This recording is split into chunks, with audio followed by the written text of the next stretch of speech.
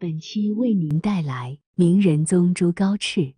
永乐二十二年（公元一四二四年）七月十八日，明王朝的第三位皇帝明成祖朱棣远征蒙古，凯旋而归，途中死于内蒙古多伦西北的榆木川，时年六十四岁。天地苍茫，视野辽阔，远处的库里尔山巍然矗立，近处的阿尔古纳河奔流不息。对于这样一位帝王来说，生于战火，死于征途，无异于是他最好的结局。朱棣一死，新接班的明仁宗朱高炽立刻开始着手改革。和他那野心勃勃、冷酷无情、手段又十分强硬的父亲不同，仁宗皇帝似乎是个很温和的人。他虽然是朱棣的长子，又当了多年的太子，但综合其多年来在明王朝政治环境中的遭遇，朱高炽其实是一个不折不扣的弱者。他天生体胖，行动十分迟缓，腿部有疾，走路一瘸一拐，并且还患有十分严重的呼吸道疾病。病发时连生活都不能自理，更需要专人照料。由此来看，这个大明太子其实只不过是一个披着皇族血衣外衣的残废罢了。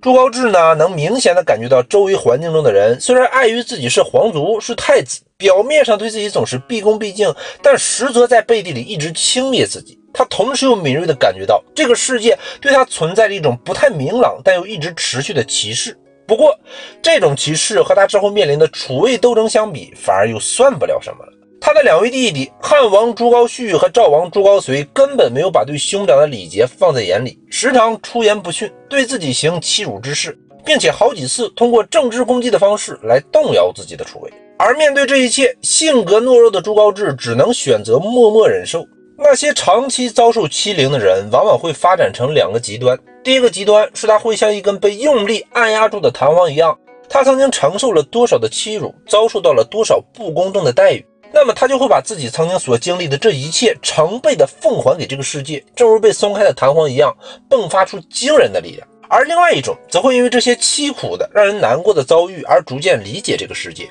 使他们开始懂得幸福生活、待人平等的不易之处。他们越是被欺凌、被折磨、被打压，就会越来越积聚爱心，使得他们变成一个极富怜悯之心的人。这不是作者胡说八道，而是基于一个深刻而又简单的人性基本法则：没有被善待过的人，最容易识别善良，也最珍惜善良。永乐二十二年九月七日，朱高炽正式登基，成为了明王朝的第四任领导人。由于常年暴病和身体机能的问题，明仁宗朱高炽只不过短短在位十个月就荣誉上宾，领了便当。不过，皇帝的在位时间虽然短暂，但他在扭转其父的治国政策的问题上，却采取了一种十分激烈的措施。我们知道，明成祖朱棣的皇位是通过暴力兵变的方式篡夺而来的。这位野心勃勃、能力出众的优秀帝王，或许什么都不会畏惧。但总有一点会让他感到心悸，那就是他十分担心后世的史书中把他记载成一个穷凶极恶的乱臣贼子，亦或是天下人指责他得位不正。多少次午夜梦回，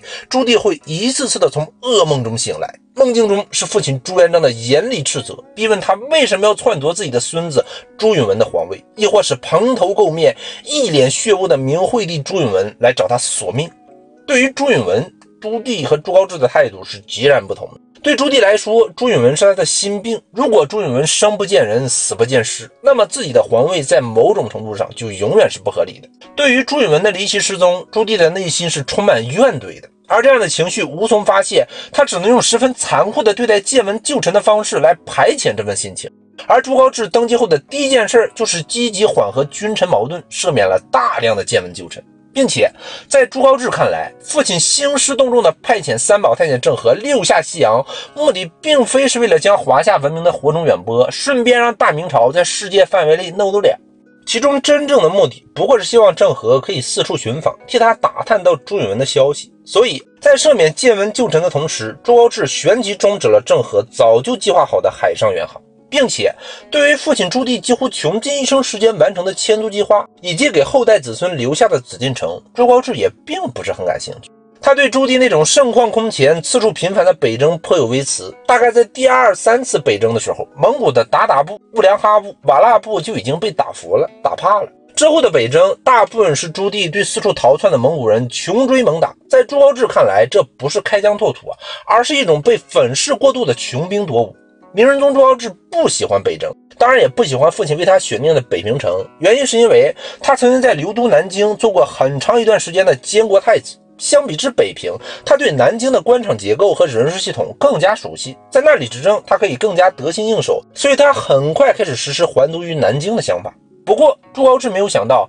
他将会成为一个天不假年的人。洪熙元年（公元1425年），明仁宗朱高炽龙驭上宾，大行而去，时年只有四十八岁，在位时间更是只有短短的十个月。中国历史上有关皇帝的死法实在是各不相同。帝王虽然看似尊宠无比，一世威名，但实则当皇帝是个高危职业。秦武王嬴荡自不量力，试图举起超过自己体力极限数倍的大鼎，结果反被大鼎砸死。晋景公脚底打滑，掉进茅坑里没能爬上来，结果被活活淹死。东晋孝武帝司马曜被妃子用被子活活捂死。南朝梁武帝则是被饿死的。皇帝的死法千奇百怪，而史料记载往往更会对帝王的死因抱有极大的好奇心，而留下丰富的记载。但奇怪的是，关于明仁宗朱高炽的死，明代的绝大部分史料却都不约而同地保持了缄默。《明仁宗实录·明史》中更是对皇帝的死讳莫如深，只字不提。我们能知道的关键信息是，朱高炽临死前三天还在孜孜不倦地处理政务，而他从偶感不适到崩于乾安殿，不过短短两天时间。毫无疑问，这是暴死。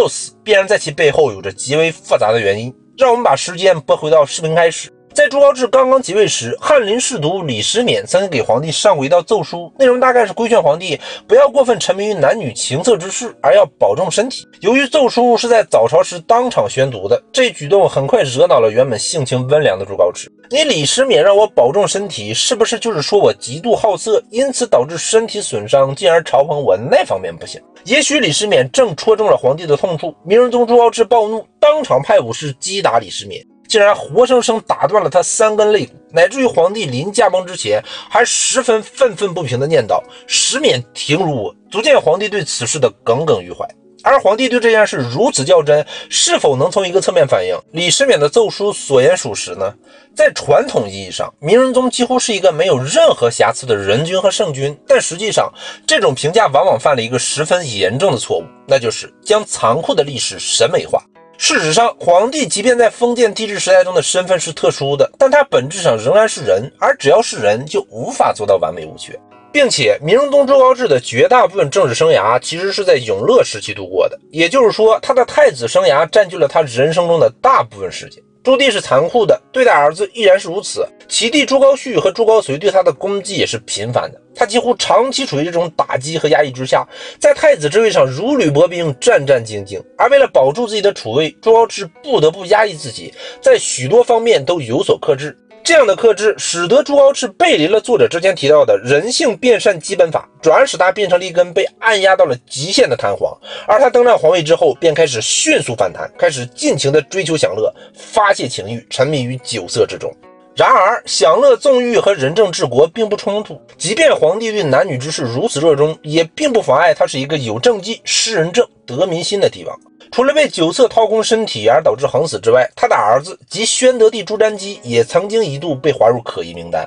洪熙元年（公元1425年）三月，明仁宗朱高炽曾派遣太子朱瞻基前往安徽凤阳拜谒皇陵。然而四月十四日，朱瞻基才十分拖沓地从京师出发。朱瞻基在离开京师后，并没有按照约定前往凤阳，而是直奔流都南京。五月十三日，仁宗皇帝在京师已经感觉到身体不适，而在五月十三日之前，南京城中就已经传出仁宗上殡的消息。仁宗驾崩是在五月二十九日。既然如此，那么南京城中的人们是何以未卜先知，提前知道皇帝的死讯呢？所有的线索都指向一个人，那就是太子朱瞻基。他拖沓了很多天才离京，是因为这段时间他要安排好人手，在京师埋好暗桩。等到自己离开京之后，这些暗桩便一齐动手，置仁宗皇帝于非命。而自己出现在南京，两地相隔千里，正好可以洗脱自己的嫌疑。可如此大案，难免会露出马脚。太子一行人都有参与此等谋逆之事，所以才会在南京城泄露出消息。当然了，这个说法是作者的一种猜测，并无实据，仅供参考。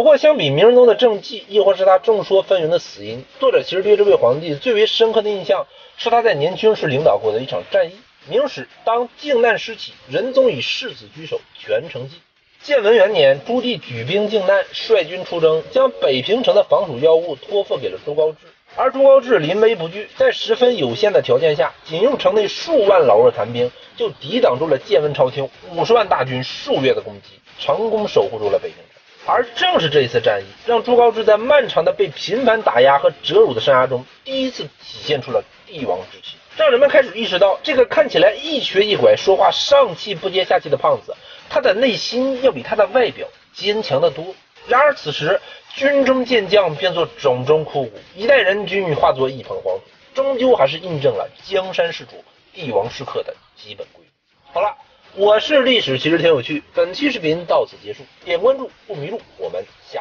期见。我一生做事正大，老天爷让我当一个月的皇上，一天的皇上，我也要让天下的人知道，坐在那个位子上的人，把天下众生看得比自己要重。